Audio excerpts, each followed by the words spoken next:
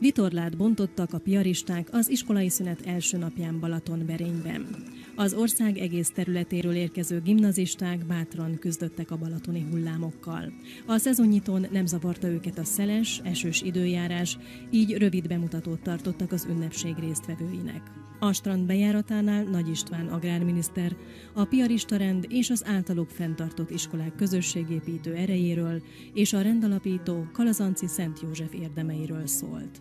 Amikor elvégzik az iskolát, kikerülnek az életbe, akkor tudni fogják egymásról, hogy ők is pianisták voltak. Na ez az az érték, ami, ami van.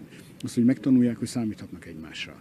Hogy a vitorlázás, mivel nem magányos sport, hanem együtt kell művelni, különböző feladatok vannak, bízni kell egymásban. Rá kell tudni bízni az életünket másikra, másik emberre, erősítve a bizalmat, erősítve a köteléket, az összetartozás érzését.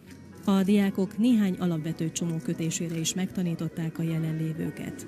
Ezeket a sokszor életmentő és az eszközök rögzítéséhez fontos csomókat minden vizitúrázónak ajánlatos elsajátítania.